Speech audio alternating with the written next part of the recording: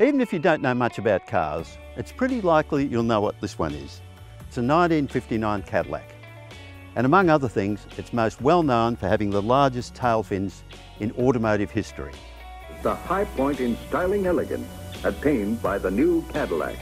In 1959, not everybody loved this car. It had its detractors as well as its admirers. But there's an incredible elegance to the car and probably nowhere better expressed than in this gorgeous roofline which sweeps over and complements the rest of the car. The heavily jewelled front end was described in the day, and not necessarily in a flattering way, as a wall of chrome. By 59, Cadillac had dispensed with the huge bullet shapes in the grille that had been symbolic of the brand for many years. It's ornate, that's for sure, quite over the top, and so different to the restrained aero styling we see today even taking into account the current obsession with bold and brash grille designs. But not everything in this Cadillac is original. It has been lowered and it wears a set of bespoke wheels that had to be made of heavy gauge steel just to hold the car's weight. The back of the car was ornate, almost overly so. It included an extra grille built into the back with a cleverly tucked away fuel filler.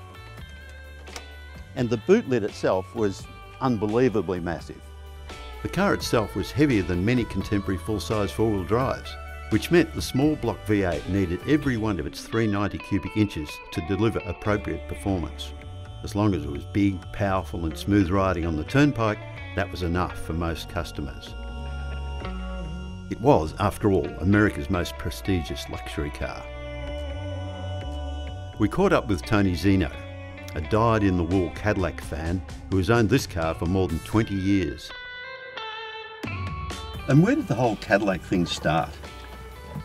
Uh, I think the passion started for me back in uh, early days as a, a young uh, young boy. Dad had a, um, a 1957 custom line and uh, I just loved and idolised that car. I cried when he got rid of it and uh, I thought one day I'm going to have a car like that and this came up uh, locally in Melbourne and Dad and I went out and had a look and we purchased this 1959 Cadillac and it actually runs a four-speed automatic.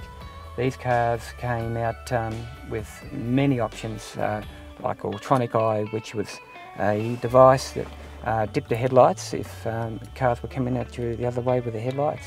And quite often in Australia we never had any of the options available to us till probably the 70s. It was an amazing for that time that uh, they had all these, these functions um, and people, when you pull up and take them for a ride and say, wow, you've got yeah. power steering in a, in a 59 car, you know, and, you know, it's just amazing. Cadillac, um, they always had to be number one and they were always in the race to beat Chrysler and Lincoln. So what they did, uh, they Cadillac poured money into it, um, and especially in the mid 50s, they they put a lot of class into advertising. In 59, you would pay probably around three to four grand for a Chev, but this was almost $8,000. So to own a Cadillac, um, you were well off, um, a movie star, or in the mafia. now, now tell us how the car is used these days. We now run a business called Cadillac Style. Uh, we utilise uh, this 59 and our 55 Cadillac. We do weddings, debs, formals, and there's nothing nothing like you know, a, a stylish Cadillac yeah. to arrive in your wedding. You might get married again this Why not? Why not?